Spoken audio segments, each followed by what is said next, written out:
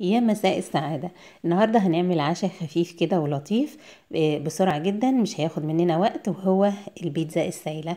أول حاجة عندي اتنين كوب من الدقيق هننزل عليهم بمعلقة كبيرة من ال baking powder ونص معلقة من كل من ملح وزعتر وتوم powder وبصل powder. هنقلبهم تقليبة كده ونخلي المكونات الجافة تتجانس مع بعضها وننزل عليهم بحوالي 3 معالق من الزيت.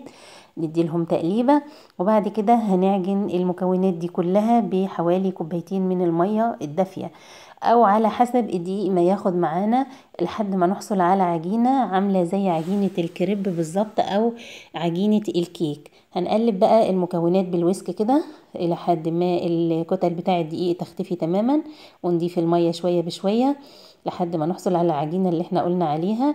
آه، سنة بسنة كده. أنا بضيف حوالي معلقتين بمعلقتين علشان العجينة ما تبقاش سايلة قوي مني. أنا عايزاها ليها سمك معين علشان تديني النتيجة اللي أنا عايزاها. هنقلب هنفضل نقلب زي ما إحنا شايفين كده ونضيف شوية بشوية. شايفين معايا؟ ما شاء الله تبارك الرحمن. أنا مسرعة الفيديو عشان ما ياخدش معايا وقت. آه، آخر مرة هضيف كده ودي تقريبا العجينة اللي أنا عايزاها. أنا مش عايزاها تبقى سايلة أكتر من كده.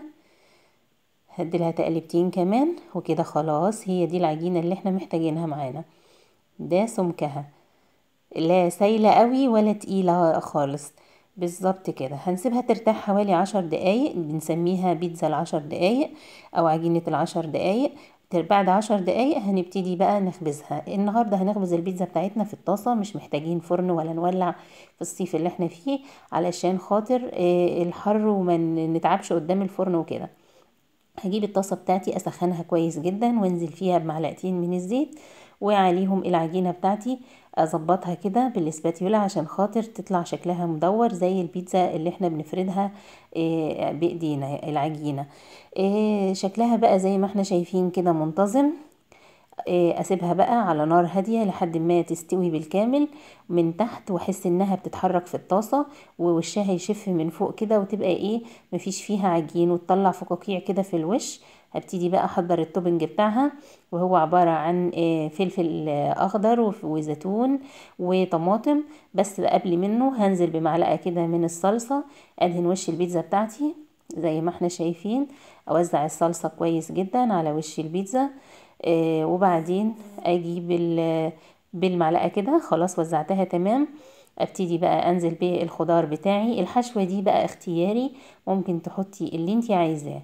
أنا النهاردة هعملها بالخضار زي ما إحنا شايفين كده. هوزع حلقات من الطماطم شايلة منها القلب عشان ما تعملش مية على وش البيتزا. وكمان حلقات ترانشات رفيعة كده من الفلفل وكمان ترانشات من الزيتون. زي ما إحنا شايفين كده. بعد كده بقى هنزل عليها بكمية حلوة كده من الجبنة. الجبنة عندك اختياري برضو لو أنا عندي موتزاريلا لو عندك mix جبن شيدر وموتزاريلا آه، اللي بتحبيه ضيفيه. هيطلع معاكي النتيجة هايلة جدا. هبتدي بقى بعد ما أضفت الجبن هي بتستوي من تحت استوت تقريبا يعني واتحركت في الطاسة وأخدت معايا لون. أنا عارفة كده كويس هبتدي بقى أغطيها إيه، غطيتها بصينية كده لأن الطاسة بتاعتي كبيرة شوية فمحتاجة حاجة أكبر منها. غطيتها لحد ما الجبنة ساحت معايا زي ما إحنا شايفين.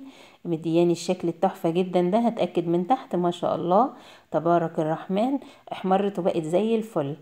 غطيتها كمان دقيقة وبعد كده شلتها وجيت آه، دهنت الطاسة آه، مرة تانية عشان خاطر آه، وزعت الزيت فيها كده بالفرشة عشان هنزل بالكمية المتبقية وأعمل البيتزاية التانية الكوبايتين عملوا معايا بيتزايتين حجمهم كويس جدا حوالي أربعة وعشرين أربعة وعشرين سنتي يعني.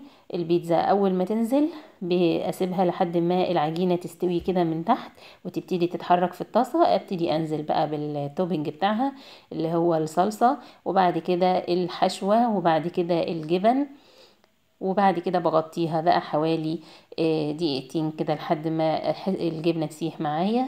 وزي ما إحنا شايفين كده عملنا أسهل وأسرع بيتزا وعشاء تحفة جدا. شايفين من تحت ما شاء الله تبارك الرحمن. آه حمرة جدا والجبن سايحة من فوق. طبعا الحشوة بتاعتنا من فوق مش محتاجة إن هي تدخل فرن لأن هو كله خضار وإحنا اوريدي بناكل الخضار ده ني أساسا يعني. فهي كلها كل الحكاية ما أخدتش معايا. ربع ساعة تلت ساعة عملت أحلى بيتزا من غير ما أولع فرن من غير ما أفرد عجين من غير أي حاجة من غير أي تعب ولا مجهود. والطعم تحفة جدا باين فيها كل الحشوة وباين فيها البهارات اللي أنا حطيتها البصل بودر والثوم البودر مدي لل... للعجينة السايلة اللي عندي تست حلوة قوي. جربوها وإن شاء الله هتعجبكم. وما تنسونيش بقى من اللايك والشير عشان دايما يوصلكم كل جديد. وختاما يا حلوين إن شاء الله أستودعكم عناية الرحمن. وسبحانك اللهم وبحمدك أشهد أن لا إله إلا أنت أستغفرك وأتوب إليك والسلام عليكم ورحمة الله وبركاته.